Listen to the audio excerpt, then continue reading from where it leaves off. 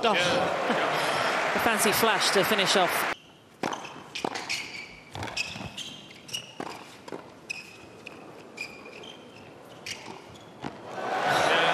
Went for the lob, but he's a tough guy to lob at six foot seven.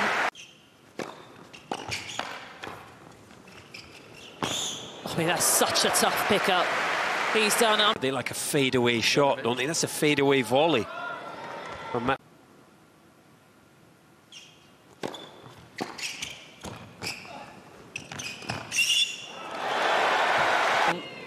No, so often as we've seen in his career, he just keeps, you know, producing the level uh, that he produces throughout the set.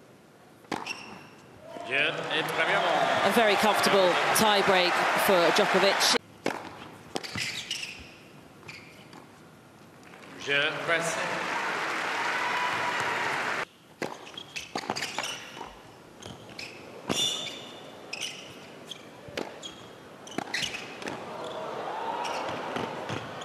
Oh, and Djokovic forcing such Three times in this game after a great half volley. I mean, he's got to be finishing the point there. He's mishitting them. I think he's losing them in the arena. 15 30.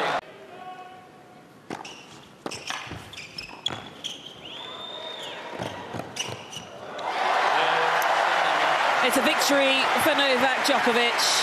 The defending champion is off and running here in Paris-Bercy 2022. He has his eyes on that trophy once again. It was a tricky challenge with a big serve in Cressy, but one that Djokovic